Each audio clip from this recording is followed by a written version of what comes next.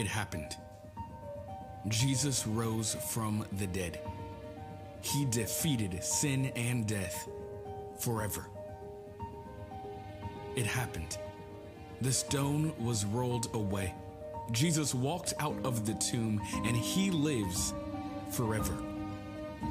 And now that Easter's over, it's our turn. We have been born again into a new life.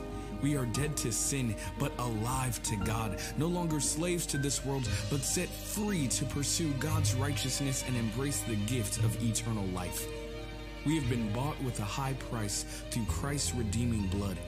We have been made temples of God's Spirit, free from condemnation and reconciled to the Father. Though we may struggle here on earth, we press forward to our eternal homeland, walking in faith and with confident hope that the one who began this good work will bring it to completion. Jesus rose and the gates of heaven opened, and that victory alone means that nothing can separate us from God's love. This is why we hope. This is why we worship. This is why we give. This is why we go, pray, baptize, teach, and preach. And we'll never have to do this alone, for Jesus will be with us always until the very end. Easter may be over, but for us, it's also just begun.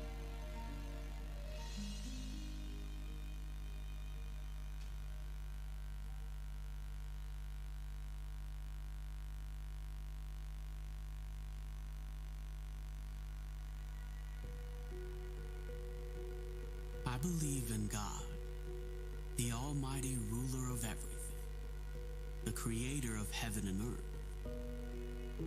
I believe in Jesus Christ, God's only Son, conceived by the Holy Spirit and born of the Virgin Mary. I believe that Jesus was tortured and crucified. I believe that he died, was buried, and on the third day, he rose again. I believe that he ascended to heaven and dwells there with God. And I believe that one day he will return to judge the living and the dead. I believe in the Holy Spirit and in the forgiveness of sins. I believe in the universal church, a fellowship of saints from yesterday, today, and all time to come. And I believe that all of those who call Jesus Lord will be resurrected at his return and will live forever with him. Amen.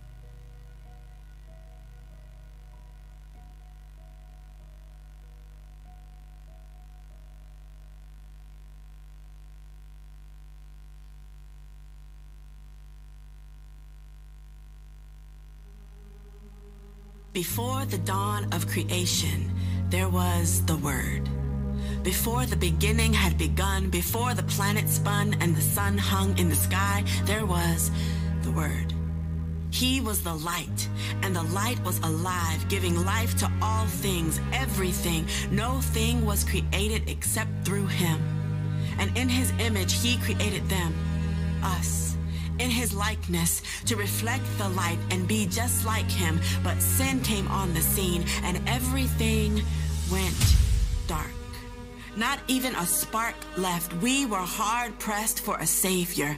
He had offered us his love in exchange for our trust, but we could not live up to his standard of perfection. We were dejected, broken, hostile, hopeless. But this is the gospel we put our hope in. That God, in his endless wisdom, fashioned the word into flesh, and he pitched his tent in the midst of our mess, and the rest is history the mystery of the cross, the incalculable cost of his life in exchange for our imperfection, the beauty of his resurrection, giving us life in exchange for his death when we call upon his name. Jesus, giver of grace, purveyor of peace, master of mercy, the word. The one who bore the scars that we deserved. Have you heard the gospel? The good news. Not what you can do for God, but what he has done for you. It is finished. God's plan since before the beginning, the greatest story ever written, broken by sin but restored when we surrender to the Word. This is the gospel. Have you heard?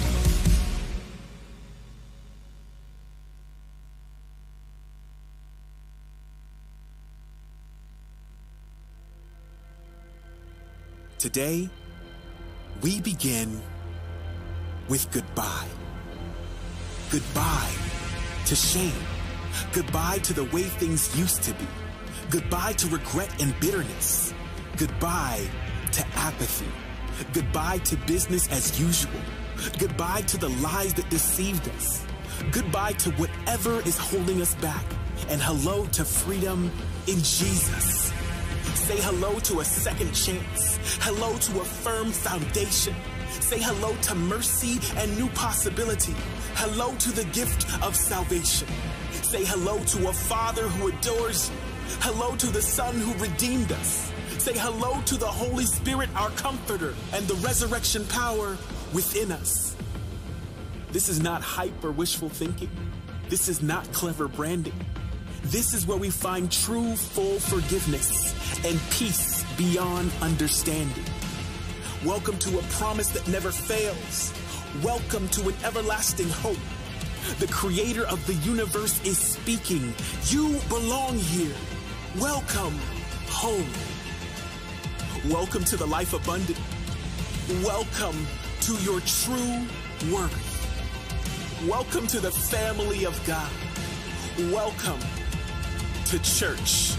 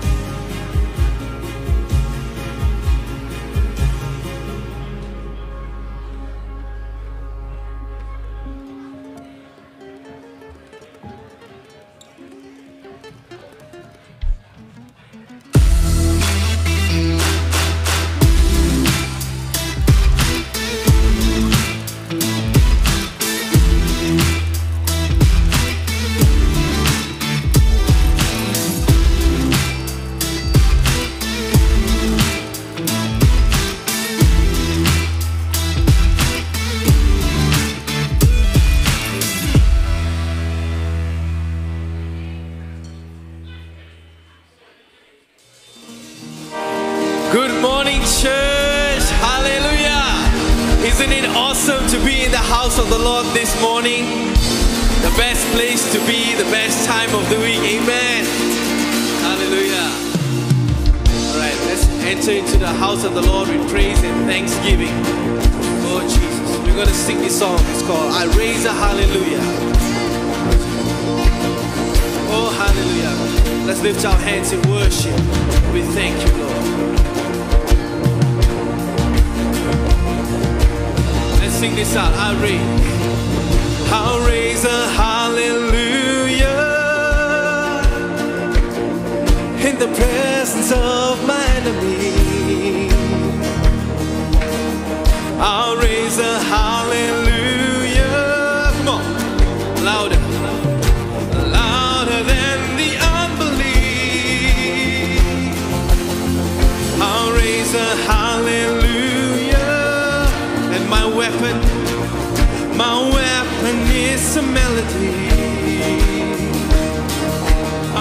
a high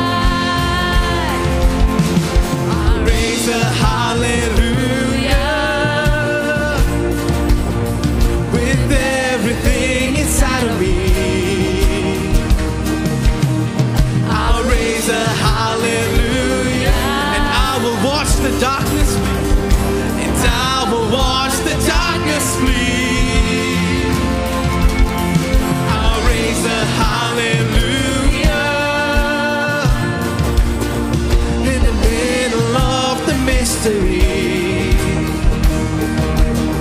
I'll raise a hallelujah. Come on, church, let's sing a song.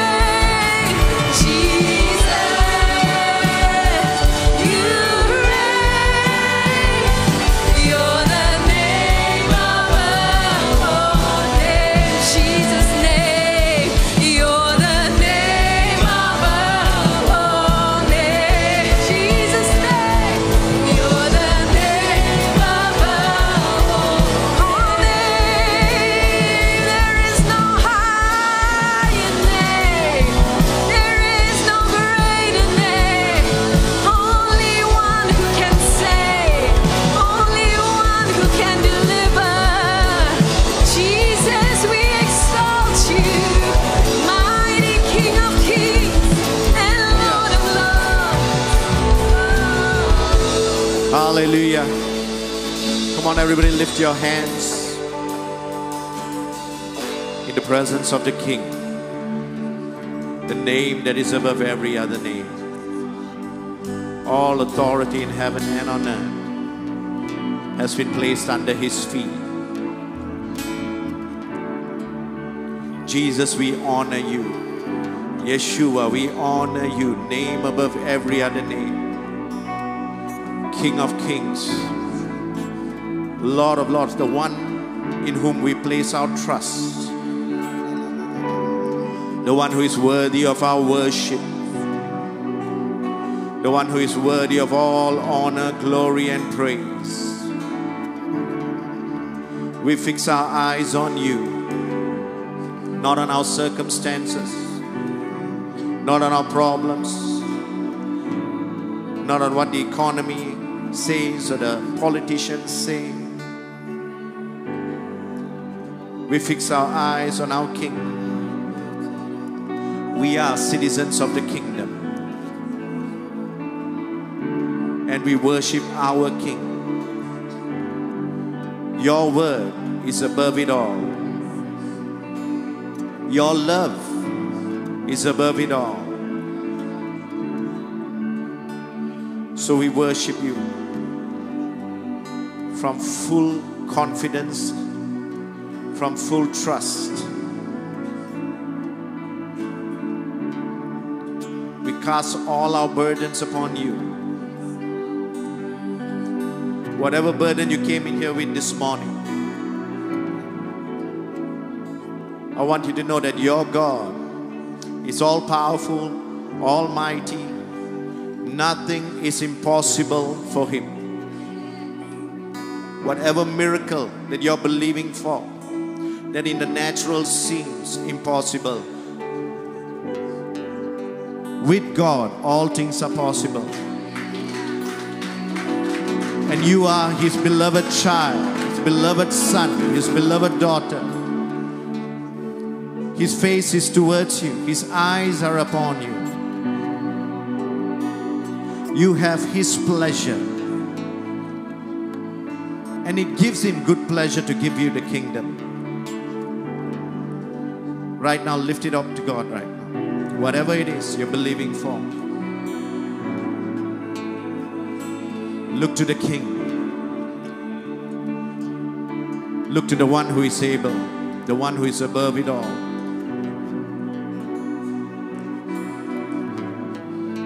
Jesus, the miracle worker.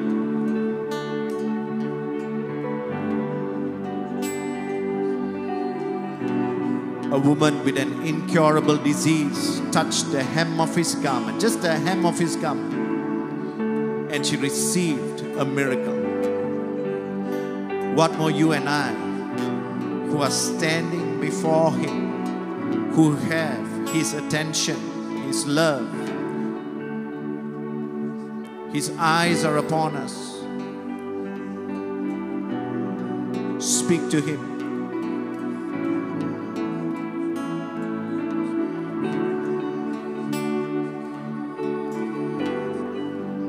Lord, we thank you for your open heavens. Angels ascending and descending all around us.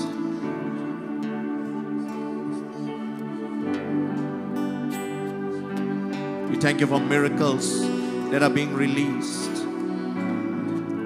healing, deliverance, breakthroughs.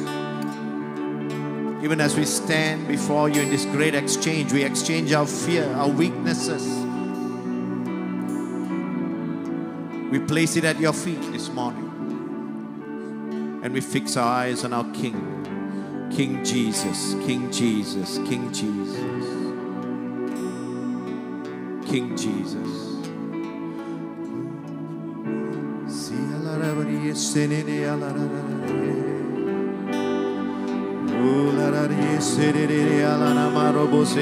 Heaven. Ola la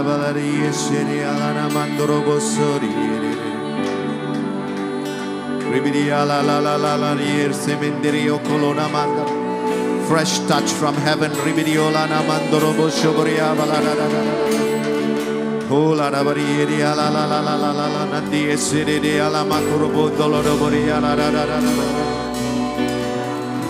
Iri ala na mandolo dobo shubri balana kala na ribidi ala la la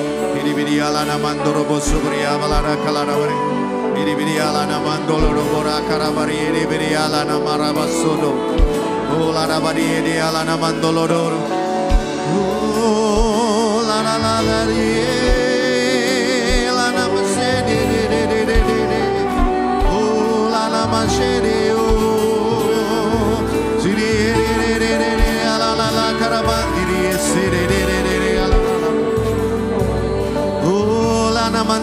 city.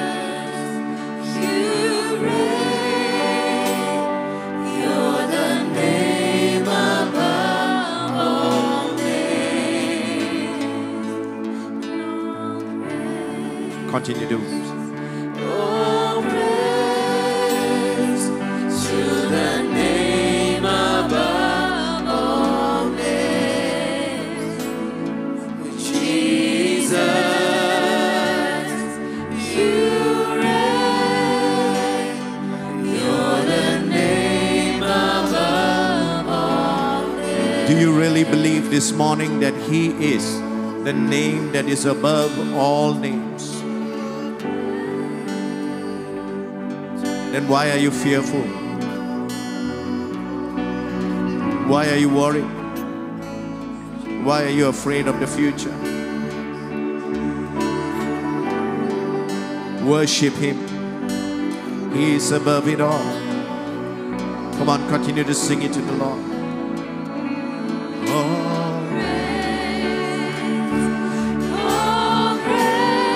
Believe those words that you're singing. the name above all Believe that there is power in the name of Jesus, that He truly is.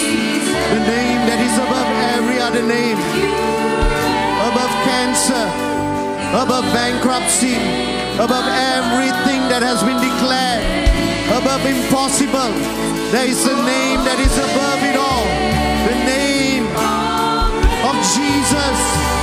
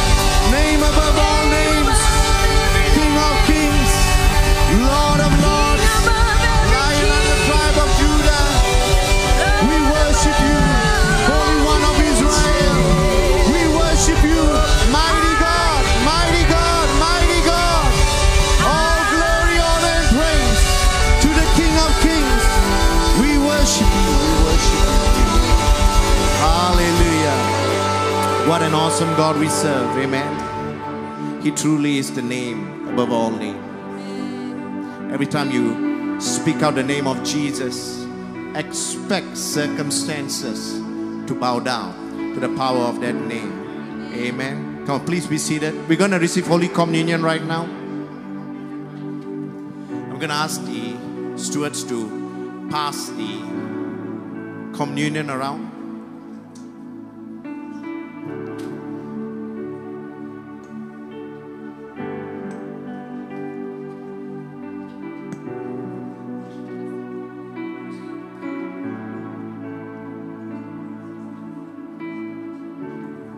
Hallelujah.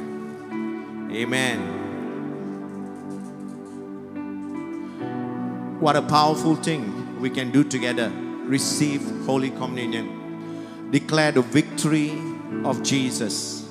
Declare that we are now partakers of this new and everlasting covenant, the old covenant of the law that brought condemnation no longer has effect over our lives because of Jesus Christ we are now partakers of this new covenant of the Holy Spirit, a covenant that was sealed in the blood of Jesus. There is power in the blood of Jesus. Amen. Everybody got your communions already?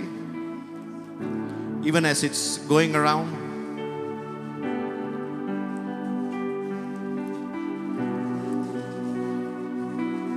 We know the significance of Holy Communion. We know what Jesus accomplished for us through the cross we know the suffering that he went through. His body was broken, his blood was shed. We understand today why he had to go through all that he went through. Because of if Jesus didn't go through all that he went through today, you and I would not have a hope or a future. We cannot come before God, we cannot stand before God, we can just at the best do our best and hope we make it to heaven which we know we will never make it because we all sin and we all fall short. No man can make it to heaven by their own effort. No man can be made right with God by their own effort. So Jesus Christ did it for us. That is the grace of our Lord Jesus Christ. He did for us what you and I cannot do for ourselves. No other belief system offers such salvation by grace through faith Aren't you glad to be a follower of Jesus this morning? Amen. The Bible says he made him who knew no sin become sin. Imagine this is perfect Son of God who had no sin at all, sinless, became sin, took the sins of the world upon himself in that moment at that cross. He had to experience the shame and the pain the rejection from the Father, everything that sin brought, every curse of sin, He took it upon Himself. And in that great exchange, it says, He became sin so that you and I might become the righteousness of God. Listen, there's no other way we can come to God unless we are or we possess the righteousness of God. The righteousness that God accepts. And because today you and I are the righteousness of God, Jesus didn't just do that so that we will one day make it to heaven. But He did that so that you and I can be in a position where He could bless us. Because the Bible has many blessings, has many promises. But the problem is, these promises are only available to those who are righteous. But for Jesus Christ, we can cannot hope of getting any blessing from God. But God made him who knew no sin to become sin so that you and I might become the righteousness of God in Christ Jesus. And because you and I are the righteousness of God this morning, I want to declare some of the blessings that are yours through Jesus Christ. Amen. The Bible says the righteous will be delivered from trouble. Today, I want you to know that is the blessed assurance that you can have. Whatever trouble that you may be facing right now, or you may be going through, or going to face, I want you to know that you will be delivered from trouble because that is the promise of God for the righteous, and you are the righteousness of God in Christ Jesus. Amen. The Bible says, No harm will befall the righteous. Nothing the enemy do will succeed against you because you are the righteousness of God in Christ Jesus. The Bible says in Psalms chapter 37, verse 25, I have been young and now I am old. That's the scripture. I'm not describing my, myself right now. Yet I have never seen the righteous forsaken or his descendants begging bread. I want you to know that you will never be forsaken by God, and your descendants will never be in a position where they will have to beg for bread because they will be the blessed of the Lord. Amen.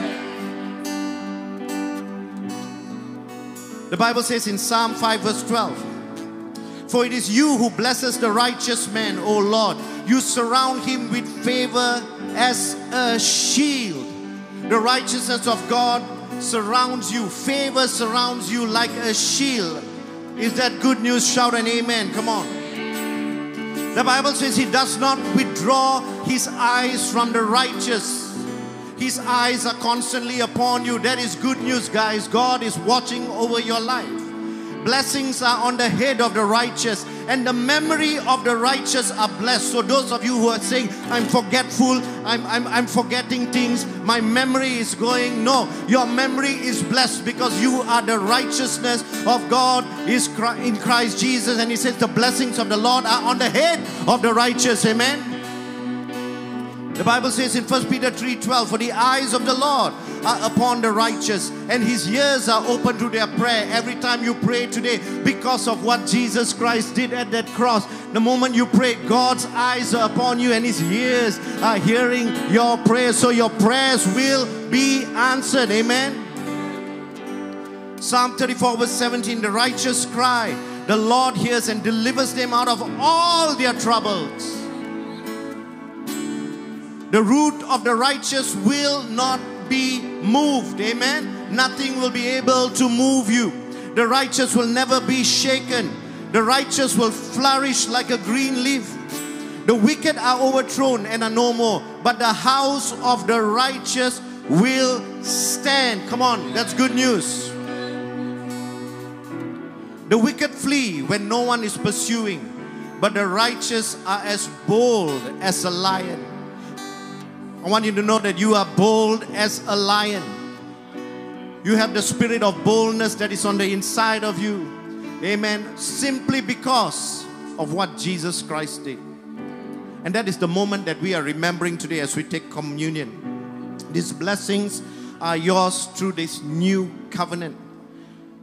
Today, as you and I partake of Holy Communion, we declare His death, His suffering through the broken bread how his body was broken. The cup representing his blood, how his blood was shed for us. So that you and I can lay hold of all that God has for us, so that you and I could be made righteous. And so that you and I have are heirs, not just blessings for this life, but one day we will stand before our God in eternity and praise Him in His presence along with all the saints. Come on, say thank you, Jesus. As you lift the cup and the bread in your hands. In your own words, take a minute or two and just thank Jesus for what He did, what He's done for you, for His great love for you, for never leaving you nor forsaking you. He's got a plan for your life. You have a hope and a future. Father, we thank you. We thank you for the broken body, the shed blood. Even as we partake of communion today, Lord, even as we partake of this bread, we partake of this cup, Lord, we are partaking of you, Lord. The fullness of all that you have accomplished for us through your finished work at the cross. We thank you that healing is ours, deliverance is ours, blessings are ours, O Lord. We receive it right now in Jesus' name. Come on, let's partake of the cup, the bread and the cup. Thank you.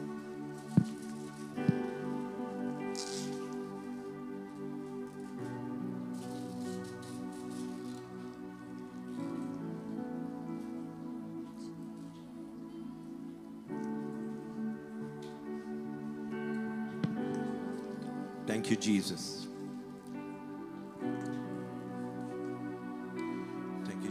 Come on, you sing it. All praise. Praise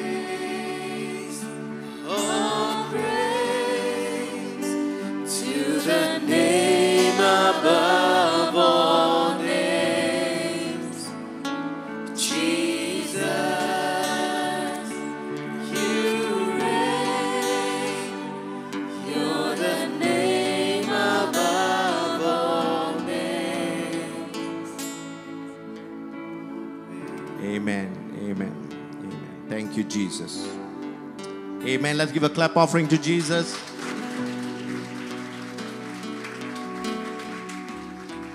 You know, we're going to receive holy, uh, collect the offering right now, even as we worship just now.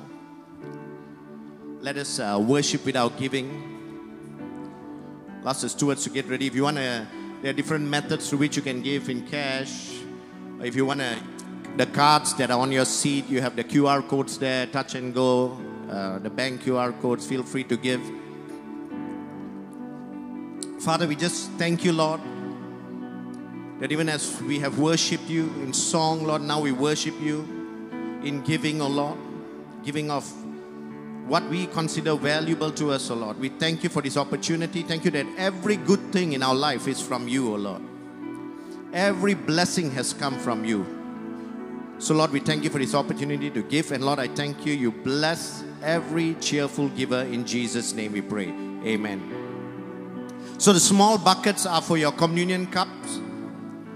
The big buck, uh, the, the bag is for the offering.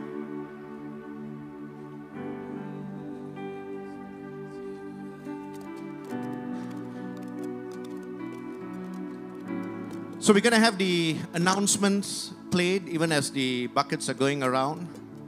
Let's go ahead. Good morning, Destiny C3 fam. It's your friendly neighborhood giant Robin here. Thank you all for joining us today. Wasn't the worship just awesome? I really could feel the tangible presence of God. So lovely to see all your smiles here. Man, it's just an awesome presence over here right now. For those of you joining us online, thank you so much for joining us. We are, it is a great pleasure to host you guys. All right, without further ado, the announcements.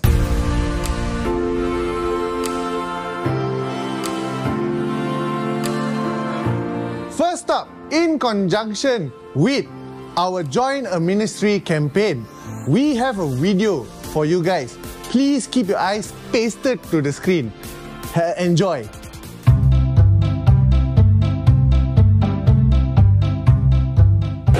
Describe the team you're in without telling me what team you are in. I'm the team that. Wait, you have to Uh, wait for me to finish first lah. Yo, go, go, go.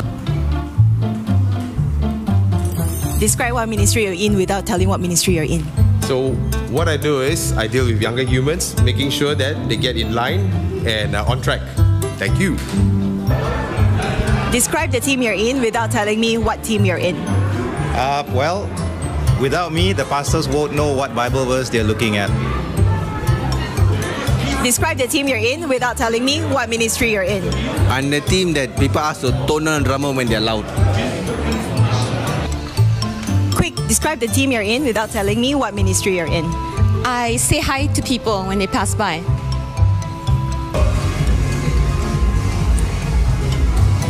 Describe the team you're in without telling me what team you're in. I make people do weird things and speak in weird languages on stage.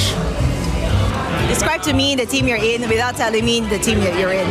I'm always the Grab driver after a connect session with the youth. Describe to me the team you're in without telling me what team you're in. I'm the eyes and the ears for the camera guys.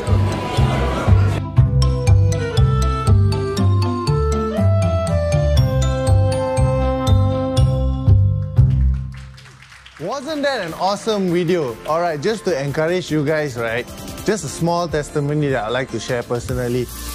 Um, many centuries ago, I used to be part of the youth uh, leadership team, and while being a leader, while serving, God was working through me, in me, and on me, and that that was how God drew me closer to Him because I had to be accountable and all that. So I would really, honestly, seriously encourage every single one of you if you're really you want to grow with god you want to grow with the church family you want to grow with the church community please do sign up and join a ministry. And if you're really sincerely in, interested you can look for nicole or see your respective connecti- uh, connect group leaders and they will assist you to get in touch.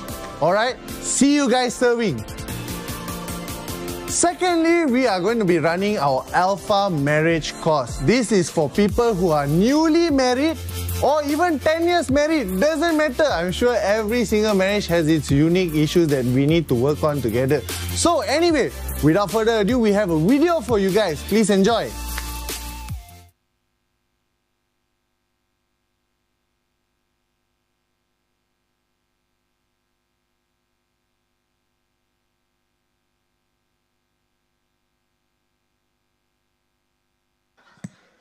Censored, like, because it's only for married people. only. The married people will know how to read lips. Oh, is that right? Okay. Oh, Jesus did that, huh? Terrible. You wanted to beat him up. Then what happened? Oh, okay. Yeah. And then the cause healed your marriage. Yeah. Okay. Yes, Jancy, that's true. Yeah. So don't miss it, guys. It's really, really good. If you feel like beating up your spouse, this is just the cause for you. See you there Tuesdays via Zoom. Come on. See, I told you, married people can read lips. Okay, it's okay. Let's move on. We'll see you next week. Jesus having being stressed behind there.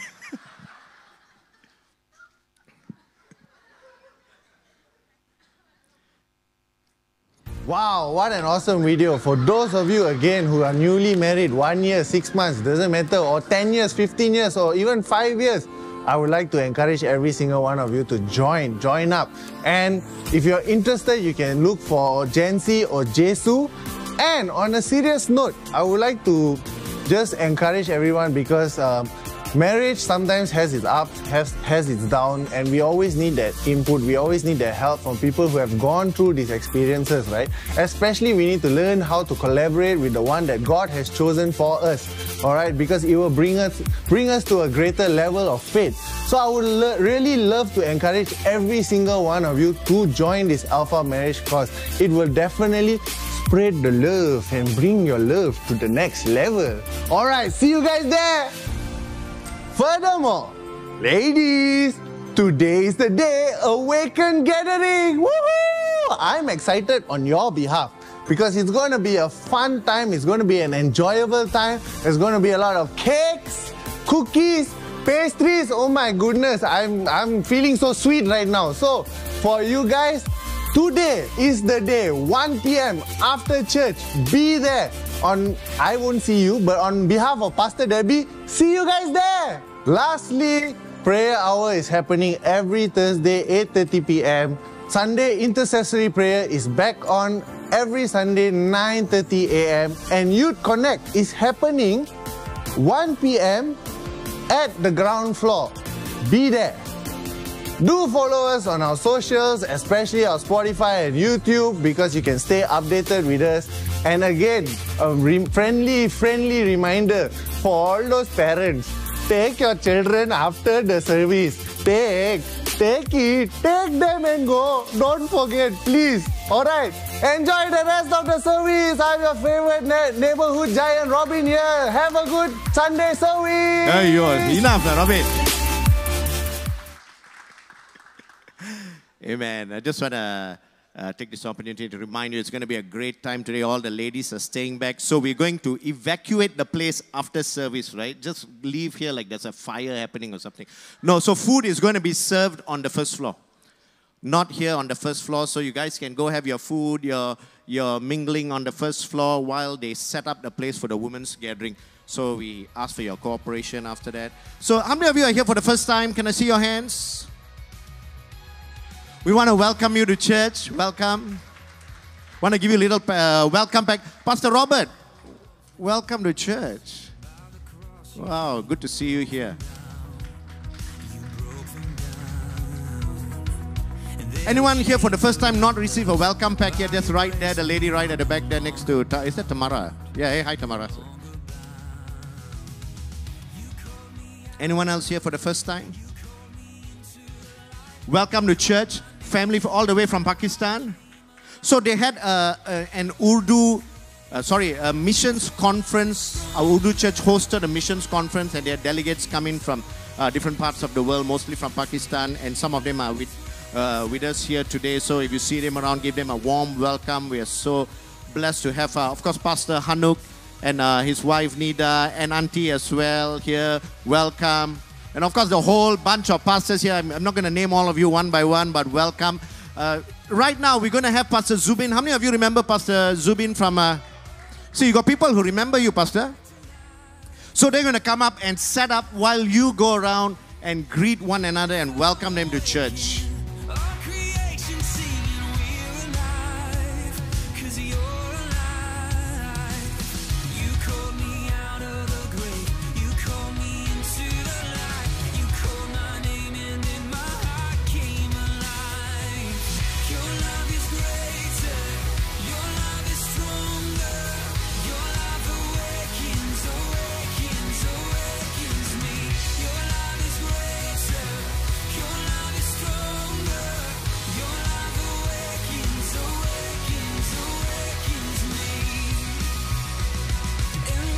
Someone who came in at 7:15, your car park ticket was found on the floor.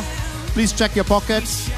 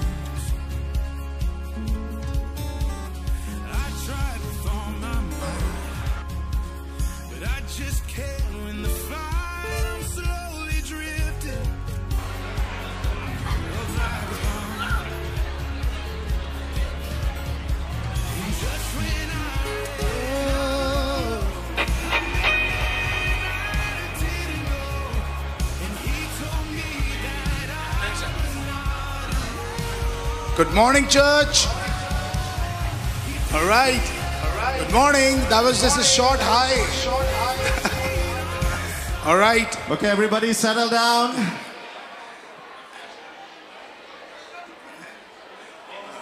Yeah. Okay. I want to honor, thank you, Pastor Clarence, thank you, Pastor Debbie, thank you, Pastor Zishan, for having me. Thank you, Pastor Fiona, for having me. Can we all clap for our senior pastors? Come on, come on, let's clap. Thank you, thank you so much. I'm going to give two phones today. Who's ready to receive a gift today? Anybody wants phone? No? Nobody wants? Nobody? Okay, I'm here to give two phones. One is mine. All right. Anybody wants an iPhone? iPhone, anyone? Anyone? Listen up, listen up, anyone? Hey, anyone wants an iPhone? Raise up your hand. Raise up your hand. Nobody. Oh, there, there, there are three, three, four hands. All right, come, come, come. I will give it to her. Her name is, what is your name? Nida. Nida. She, she's getting an iPhone. Come on, let's clap, clap, clap. Come on. One, and, and, uh, there's another phone. It's a very good brand. Yeah. Anybody wants Oppo? Yeah, yeah. There is. Okay. What's your name? Serene. Serene. Serene. Clap for Serene. Come on, she's getting a new phone. Oh, this is mine. I'm, I'm not giving, giving this one. You know why? Why am I cheerful while giving their phones? Because they were their phones already. you know, this is how worship is giving back what's already His. Giving the breath back that is already His. Hallelujah. So I don't know how much are you blessed, but I will see it by how you worship. Amen. God has been good to me. All my life you have been faithful.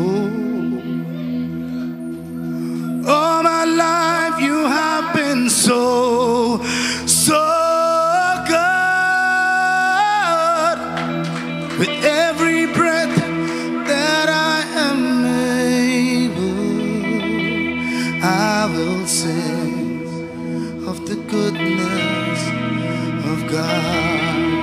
He has been good to us.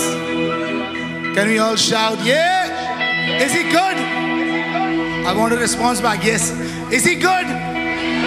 Okay, we can do a better job. We can be loud because, you know, heaven will be a loud place. You know, Revelation says they all are shouting with, oh, it's a better word, crying out, Hallelujah! Can we all do, Hallelujah!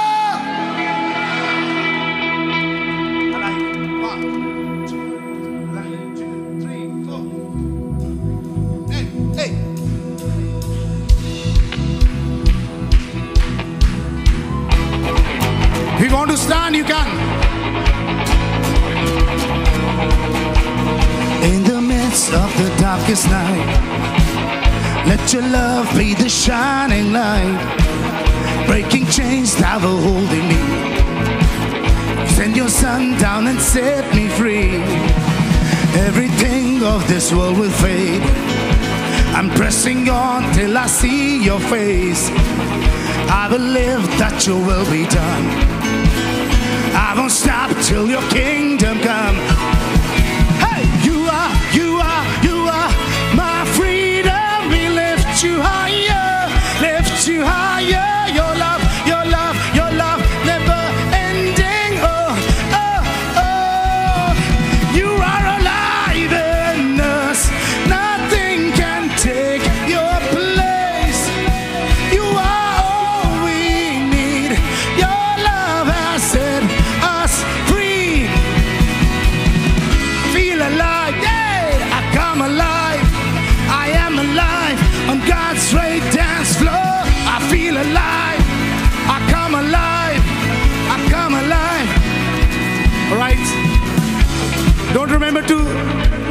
Forget to smile when you're singing because, you know, giving cheerfully what belongs to Him. Because I was lost with a broken heart. You put me up, now I'm set apart. From the ash, I'm born again. Free in unending grace. For you are, you are, you are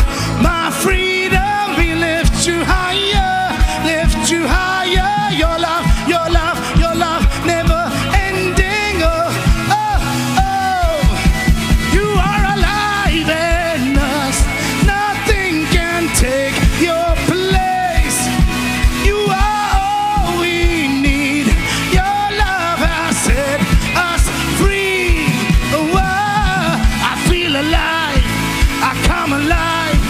I am alive on God's great dance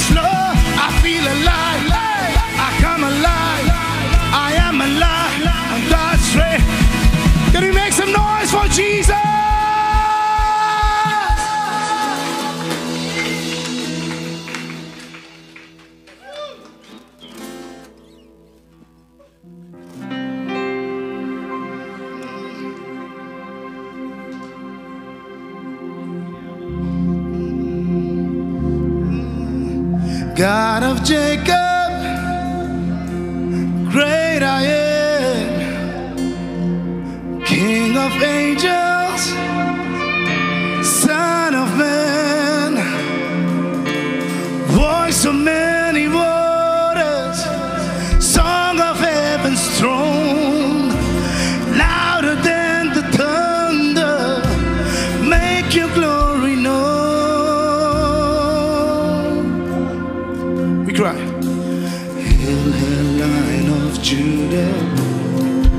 let the lion roar. Hail, the lion of Judah, let the lion roar. Hail, the lion of Judah, let the lion roar. Hail, the lion of Judah, let the lion roar.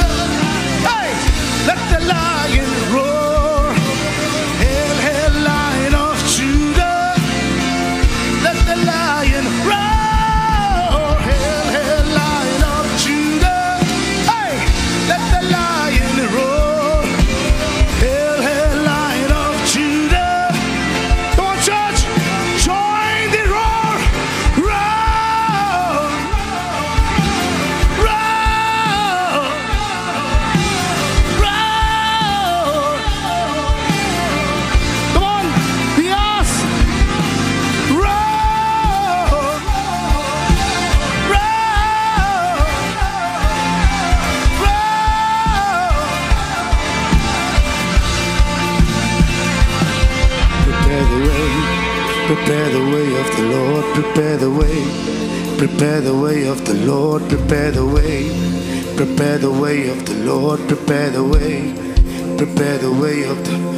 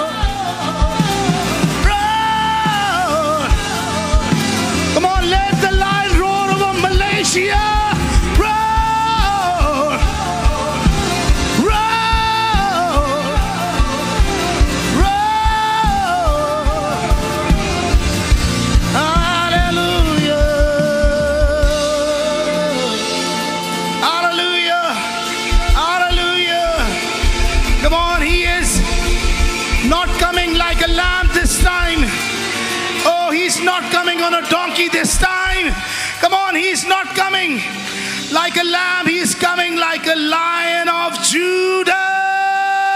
Somebody give it up for Lion of Judah.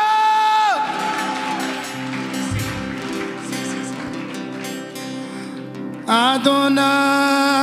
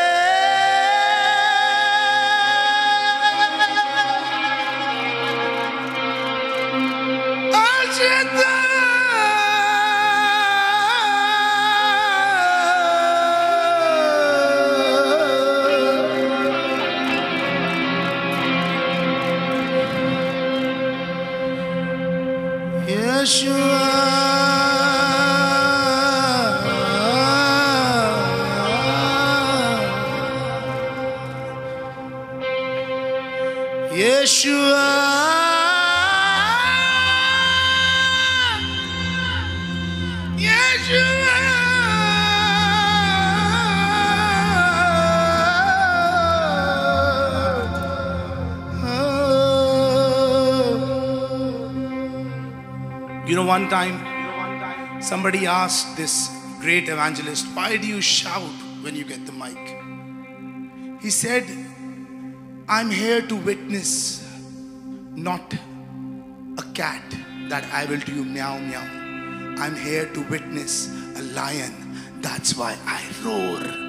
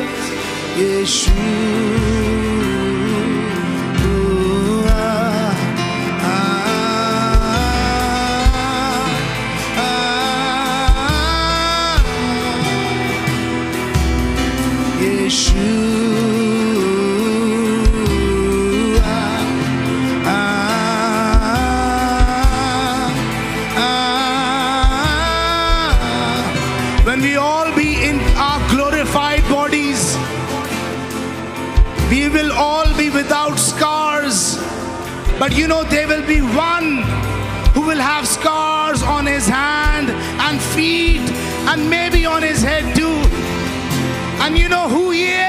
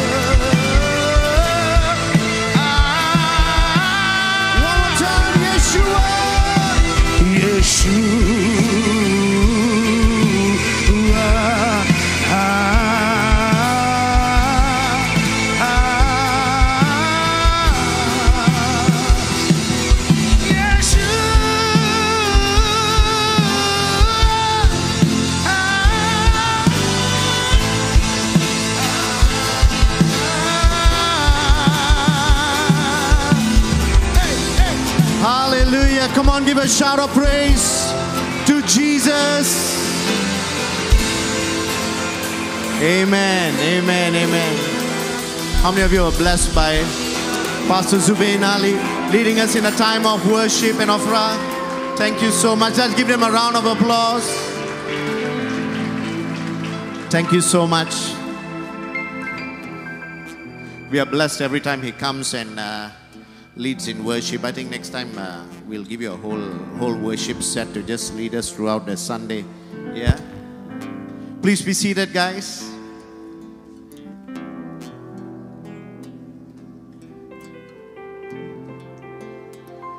So today we have an international evangelist with us. You know, some of you are wondering, can he finish by 12:30? I see you, Yime.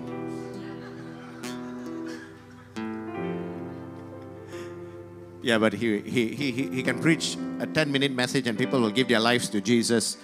Amen. But no, but he's got till 12:30. So, ladies and gentlemen, international evangelist all the way from Canada. He's gone to Bahrain, India. Now he's in Malaysia. He's Canadian.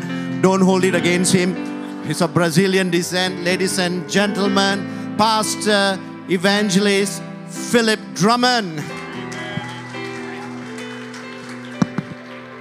Praise the Lord. Ah, what a joy it is to be in the house of the Lord. It's a place for us to pray, to come together, to celebrate with joy and festivity. Man, the worship. Wow. Praise God. All these worship teams and Pastor Zubin and, and the, the, the team of the house. Uh, we're so grateful for Destiny C3. Uh, so grateful for the leadership of uh, Pastor Clarence and Pastor Debbie. And I'm here invited by my very dear friend, Pastor Zishan, um, and uh, Pastor Fiona, and uh, Pastor Ayub. Uh, it's been such a joy to spend the last couple of days here in Malaysia, uh, serving and breaking bread and spending time together um, with, with the church. And um, also, I want to acknowledge Pastor Zubin, a good friend uh, from Pakistan who just led the worship here, and Pastor Hanuk Hashmat and the Hashmat family. Wonderful, wonderful ministry um, in Peshawar, Pakistan. And all of you, thank you so much for the opportunity, Pastor Clarence and, and uh, Destiny C3. Um, as Pastor Clarence said, I, this has been somewhat of a longer trip. I was in the Gulf uh, meeting with different leaders and uh, seeing what God is doing there with the church. And there is excitement, there are new open doors, and you have a young generation um, who were really well trained by their local leaders uh, from different ethnic groups, from India, from the West, uh, from Asia, and so on and who want to be part of God's mission. And from there, we went to India, uh, where we also spent uh, time with over 50 leaders uh, who are church planters in the north. They're natives of, of India.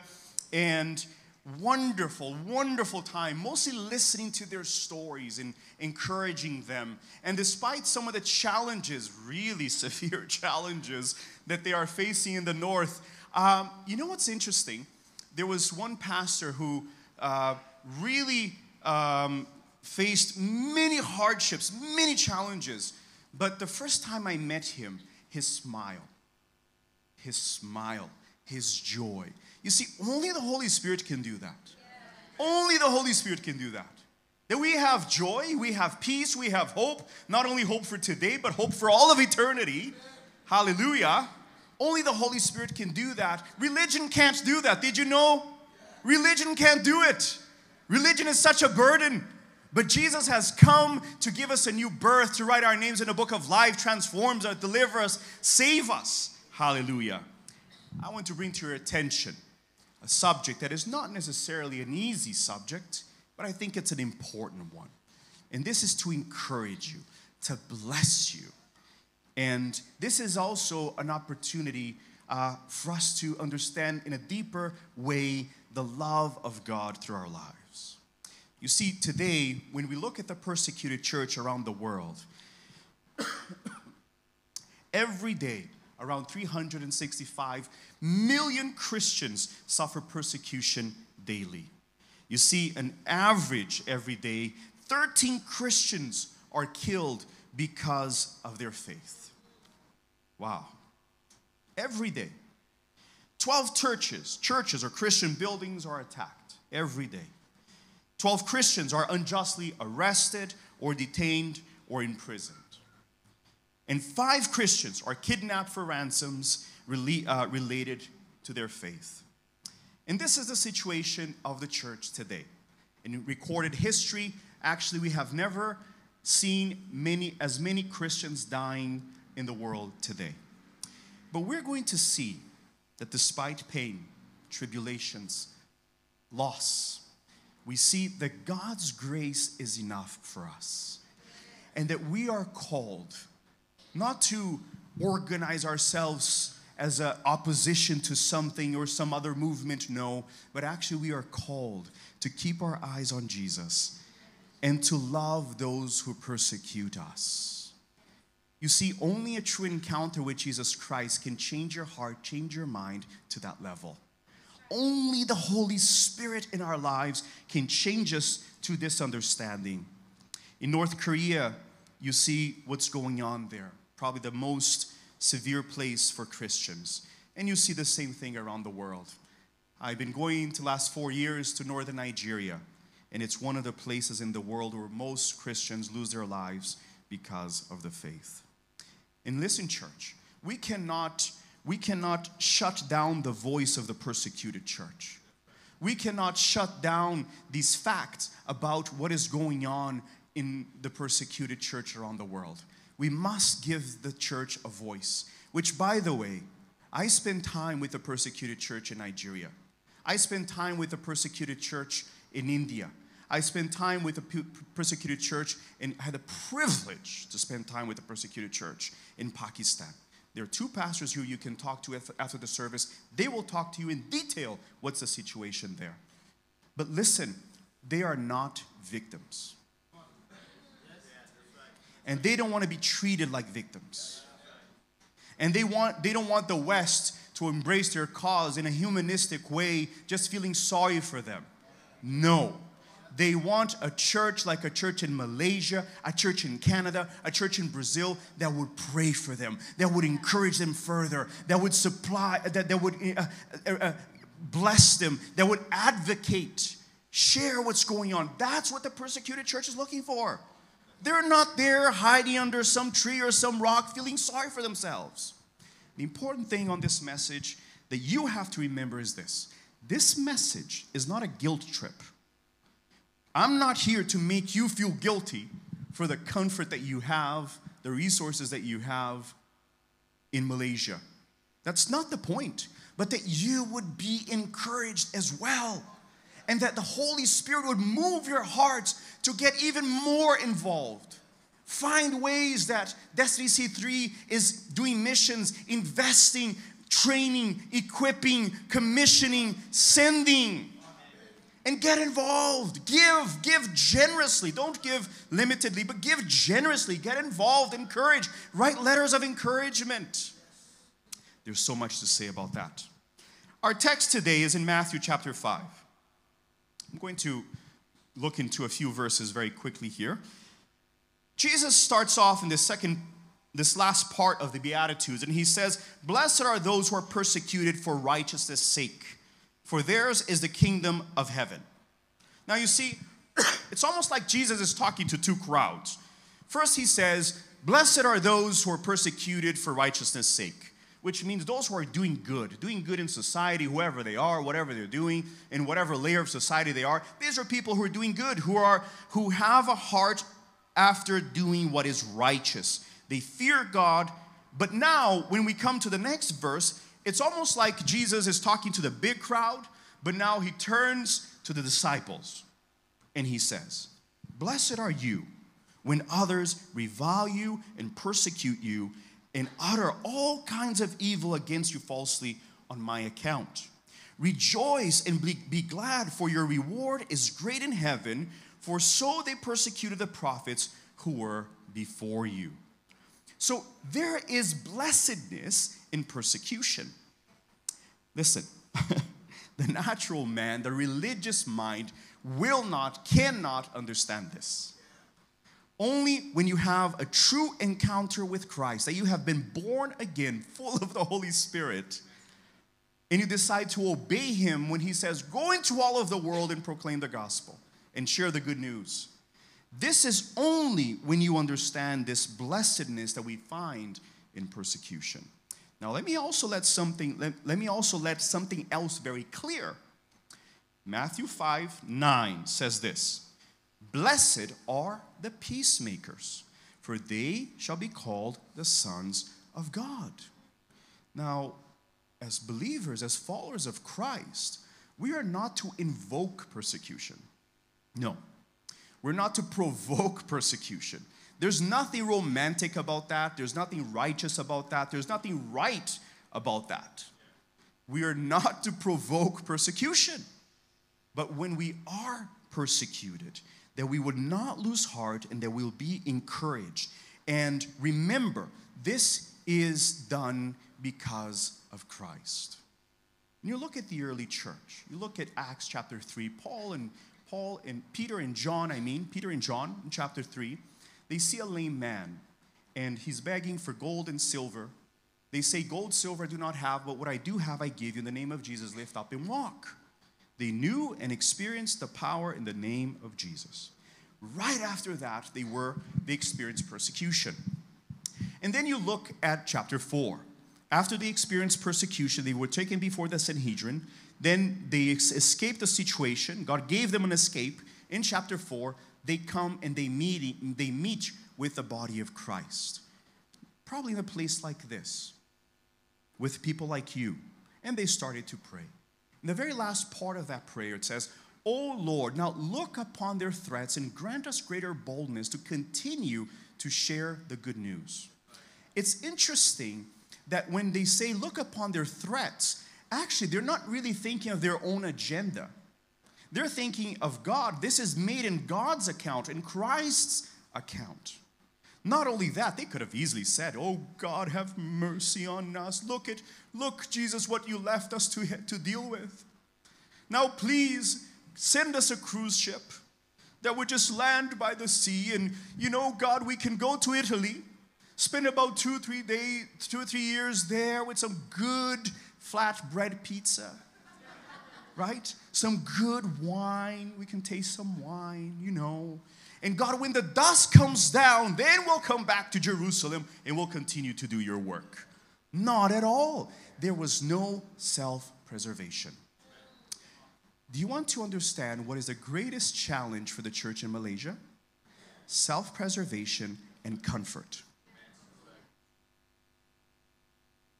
Self preservation and comfort. This will stop you from doing God's work, from expanding His kingdom. This is a time to train, to equip, to mobilize, to inspire, to encourage one another, to lift each other up, to pray for God for spiritual discernment that we can discern the gifts, the calling of God in the lives of each one. You know, I am a, I'm a result, first of all, my parents, my father who loved the Word of God, my mother who prayed.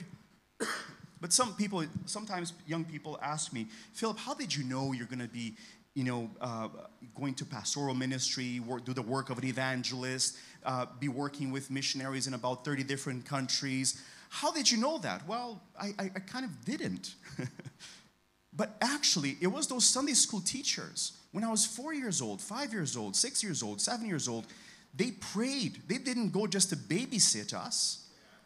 They fasted, they prayed, they went through the Bible, they prepared their lessons, and they went to teach us. And God gave them spiritual discernment to discern God's calling and gift in our lives. I am a fruit of that. I'm a fruit of those Sunday school teachers. I am a fruit of the elders and the workers of the church that while this while this service is happening, there's a lot of people working in the background. There's people in the doors over there. There's people serving. These people who are serving, who are standing in the doors, who are working in different areas, the pastors, they would come to me and say, "You know, Philip, God has a calling in your life. God has a calling in your life."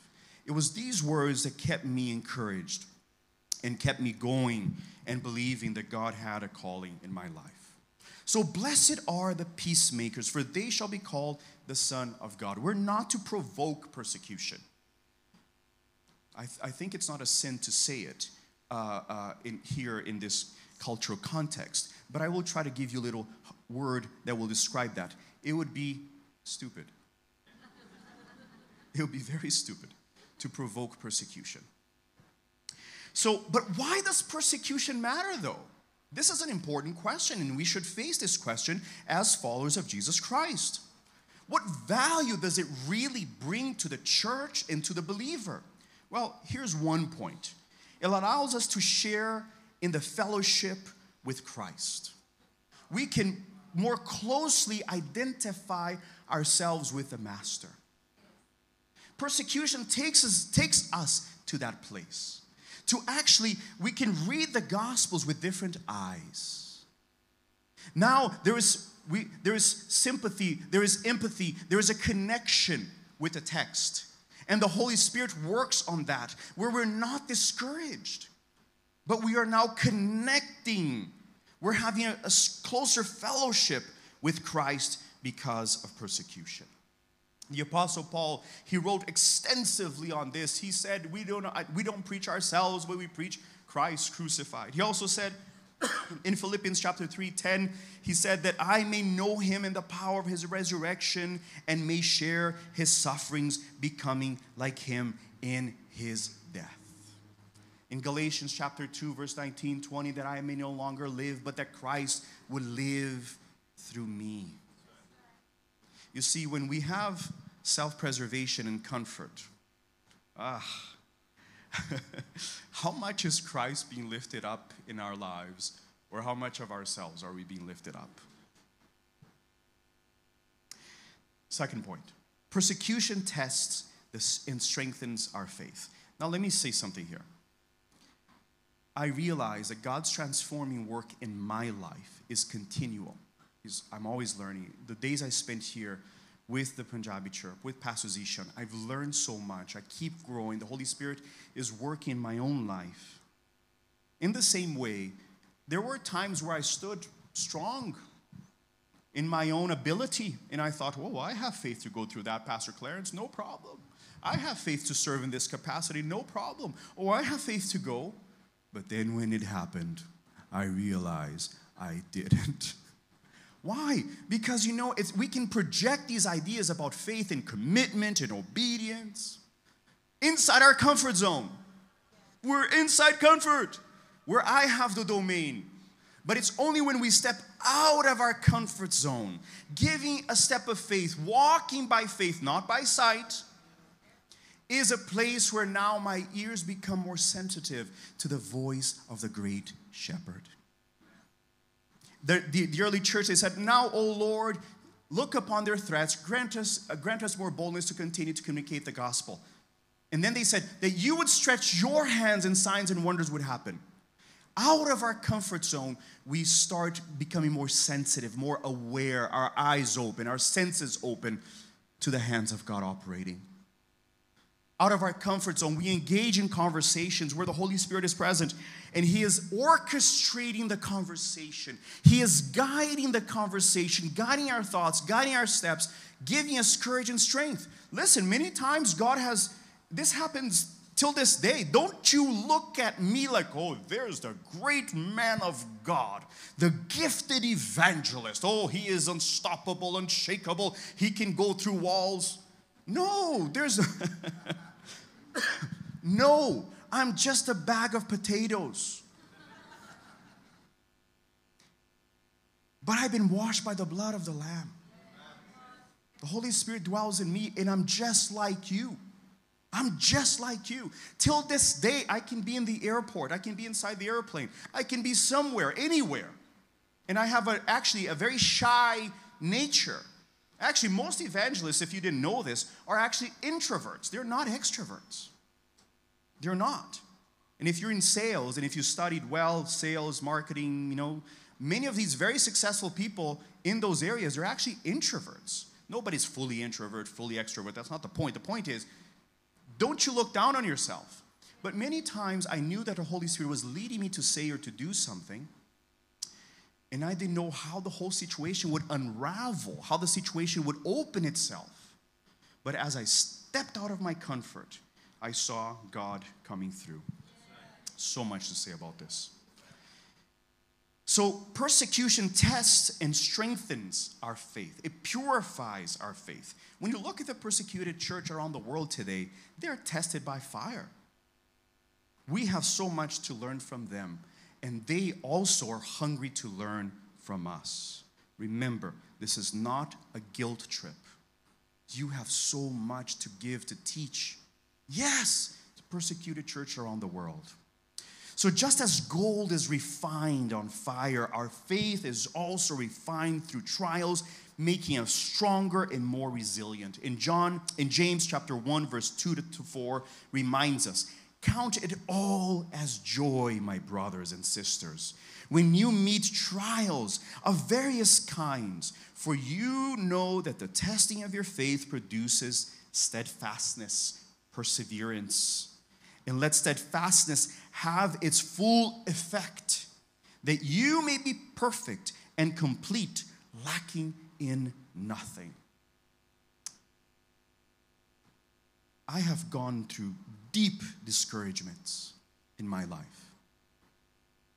As the psalmist says, at times I have really felt at the bottom of the pit, in that place of, of personal heart mind struggle.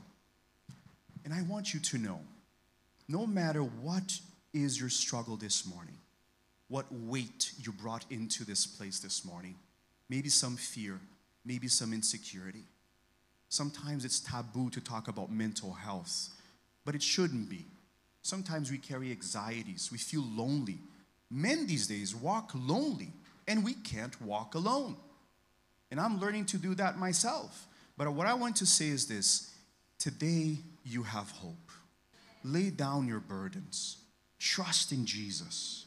In these very extreme situations of persecution, Christ is present.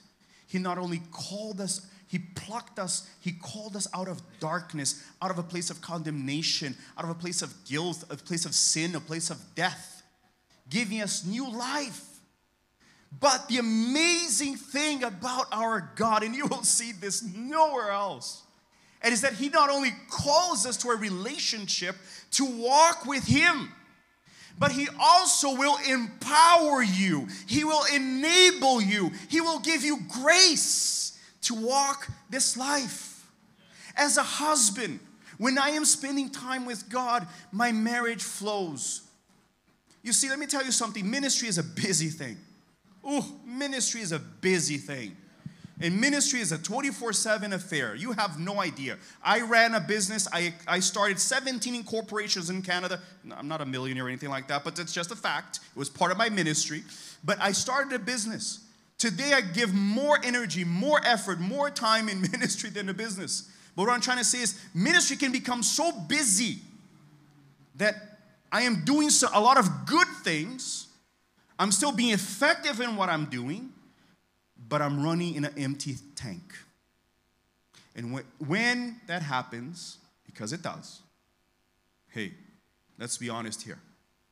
I realize that my communication can become a little bit more edgy with my wife. And then I have to be aware of that, repent, let her know, and come back to that place where I dwell in the presence of God more intentionally. So the point is that we need to spend this precious time with God.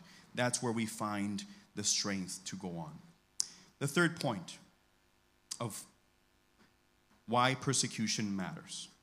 It provides us an opportunity to demonstrate a Christ like character. And this is important. How we respond to persecution speaks volumes about our faith and reflects the character of our Savior.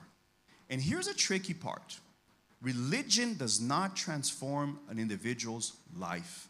Some people, they are Christians full of religion, but have never had a real encounter with Christ. And we should love them, serve them, be gentle with them.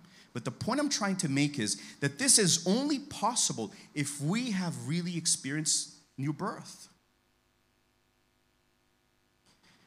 And character is important. In Romans chapter 1 verse 16, for I am not ashamed of the gospel, for it is the power of God for salvation to everyone who believes, to the Jews first and also to the Greek.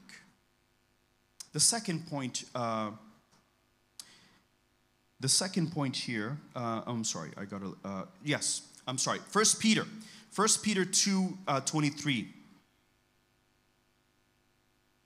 When he was reviled, he did not revile in return. When he suffered, he did not threaten, but continued entrusting himself to him who judges justly. Look at how Christ, God, rejected to be like God when he was here in this earth and submitted himself to the will of the Father. In John chapter, uh, in John, throughout the Gospel of John, we see at least eight times Jesus saying, I did not come to do my will, but I have come to do the will of the Father who sent me. He goes even further. He says, I didn't come here to seek my own glory, but it is the Father who's in heaven who will glorify me. Dear church, that God would stir your hearts to come back to these fundamentals of the faith. That your faith would be strong.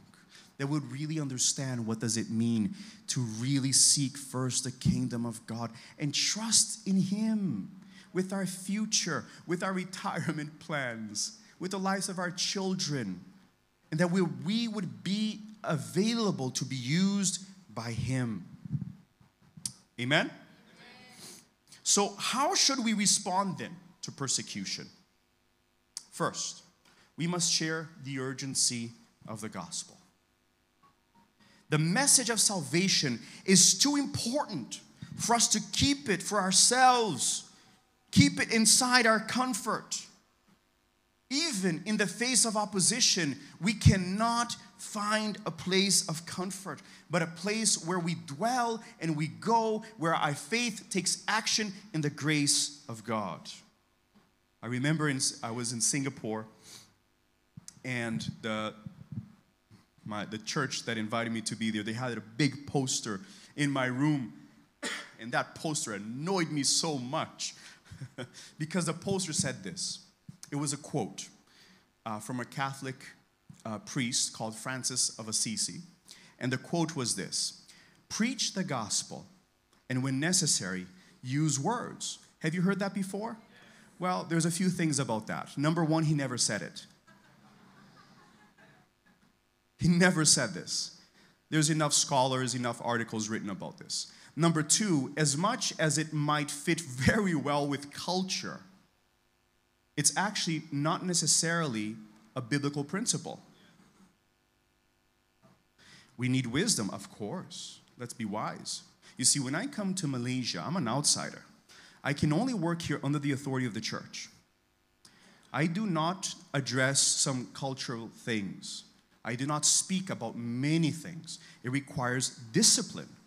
So I have to have a very humble posture when I'm here in Malaysia, a very humble posture when I'm in Pakistan, a very humble posture when I'm in Ni- Nigeria.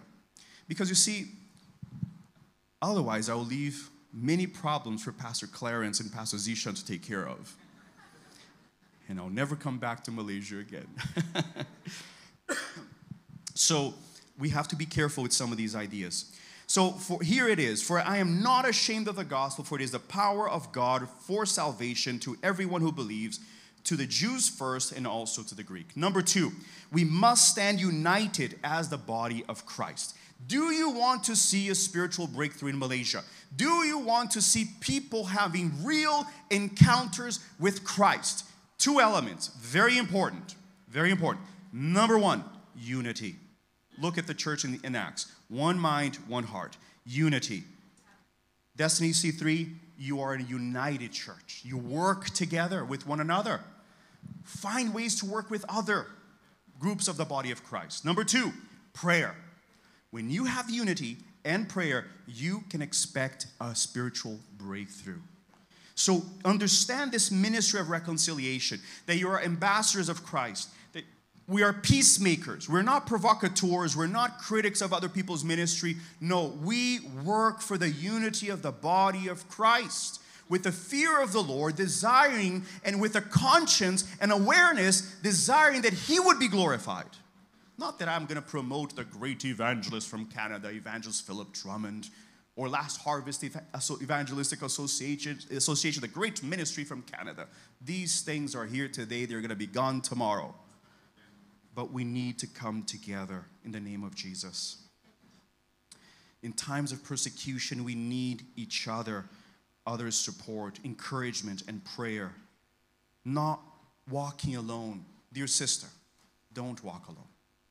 My dear brother, my young brother, my older, wise brother, don't walk alone. Don't allow your pride to isolate you. Make yourself available to serve. That's one place that you're never going to be alone if you're available to serve. You're going to be wa- working with the body of Christ. Don't walk alone. We can't walk alone. And one of the reasons is it's also a healthy environment, a safe environment where there's accountability, where we pray for one another, encourage one another. I could not be here today if not on the- being sent by a team, if not my wife didn't support and send me to be here as well. I can't walk alone. I know that for sure. 2 Corinthians 12 26 reminds us if one member suffers, all suffer together. If one member is honored, all rejoice together.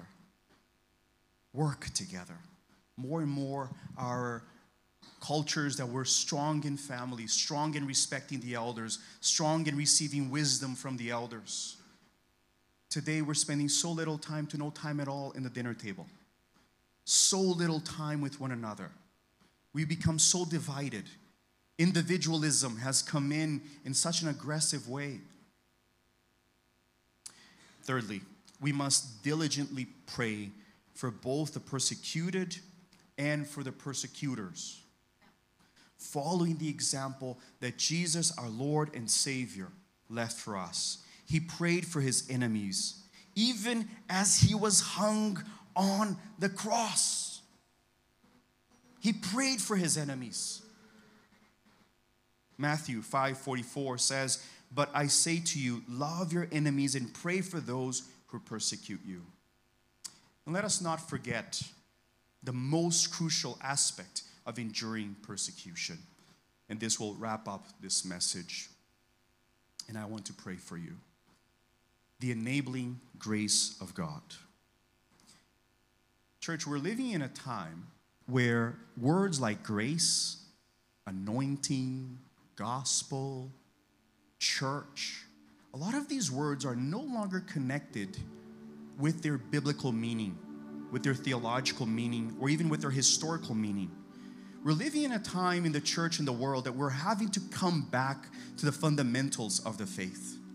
We're having to come back at the feet of Jesus once again and humble ourselves.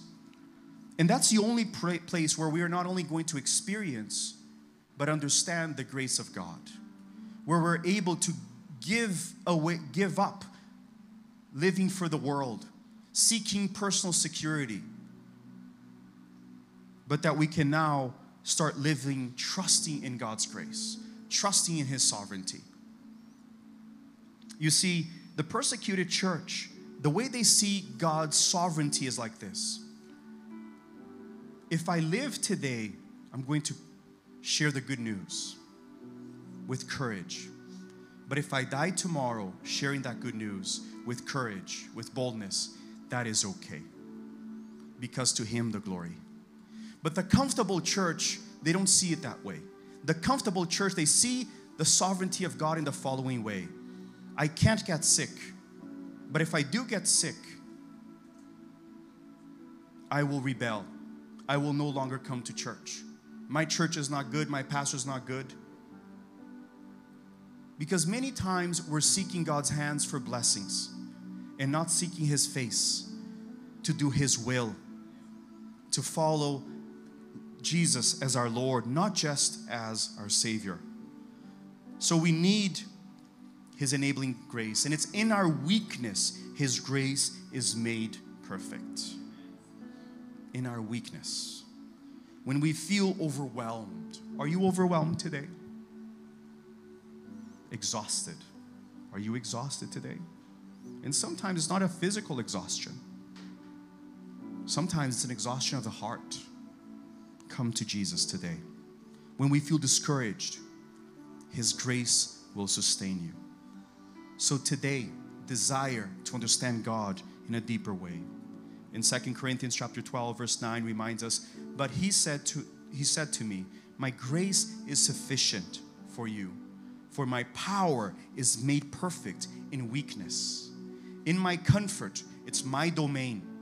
In my comfort, I feel strong, I have great faith. But out of in my comfort zone, I have to rely. I have to depend. I have to, to sur- surrender my life to Christ.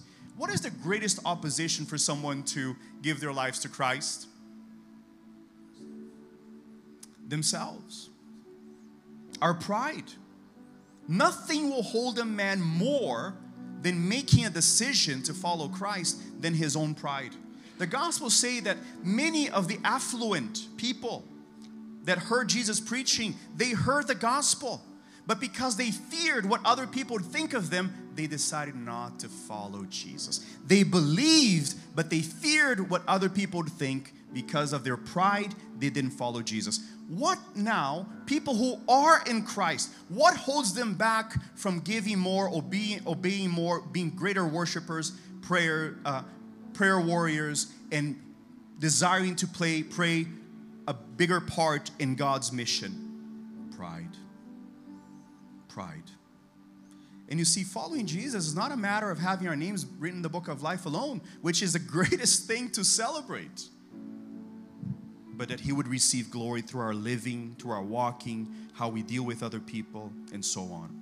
The Holy Spirit empowers us to stand firm in the face of adversity and to boldly proclaim the name of Jesus. Acts 44 31, the Word of God says, And when they had prayed, the place in which they were gathered together was shaken, and they were all filled with the Holy Spirit and continued to speak the Word of God with boldness. And we can have this confidence. You who are watching this message, you who are here right now, we can have this unshakable confidence in God's provision and protection, knowing that He is for us. And nothing can separate us from the love of God. So, dear church, dear friends, let us embrace persecution as an opportunity for spiritual growth and for witness. Let us respond with grace, with unity, and in prayer, trusting in God's enabling grace to sustain us. As we face these adversaries, we may be reminded of the words of Jesus in John chapter 16, verse 33. In this world you will have trouble, but take heart, be encouraged. I have overcome the world. Hallelujah. Let us pray. Praise the Lord. And if any of you who are here, I would love to pray for you.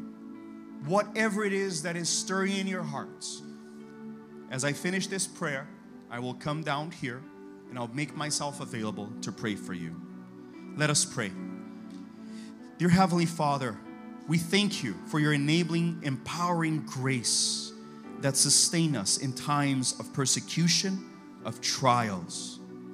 Help us, O Lord, to stand firm in our faith, to be bold witnesses for you, and to respond with love and grace to those who oppose you. May the Holy Spirit empower us to overcome. And may your name be glorified in everything we do. We pray in Jesus' name.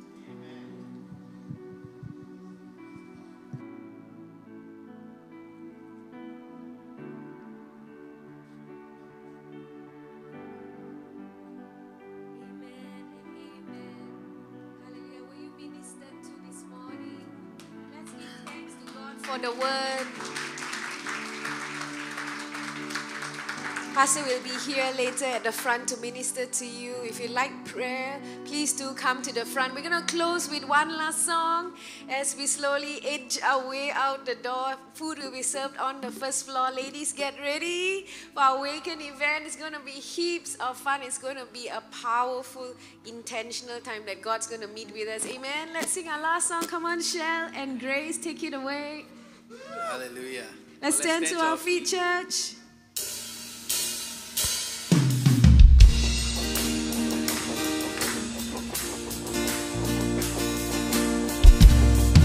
Hallelujah. Sing this out.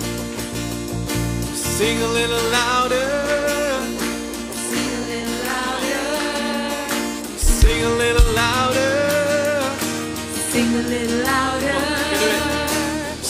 it aloud.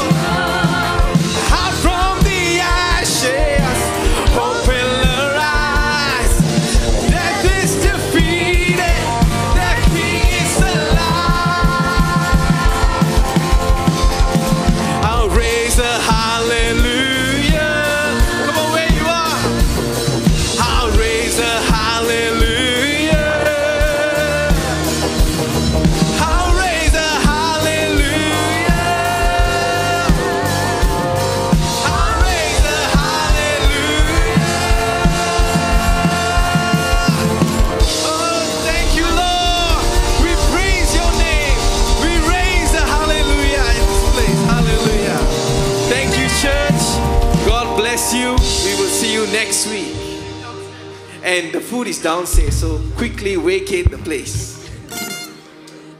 And if anyone of you want prayer, uh, Pastor Philip will be right here in the front towards my left. Please come see him there. Yeah. Towards the door, Pastor Philip.